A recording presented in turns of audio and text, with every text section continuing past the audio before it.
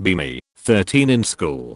Got laughed at for wearing some dumb novelty socks once. Decide to make it my personality trait to get people to laugh with me not at me. Spend more than $1,000 over a couple years just on my quest for the most absurd socks. Dad left cash for me before he died specifically for me to get driving lessons, but I blew though this on socks.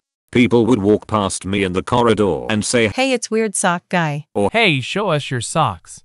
Would pull my pants leg up as I stomped as hard as I could on the ground to do my big sock unveiling and people would laugh. Fast forward 10 years. On a date in a bar with cutie pie.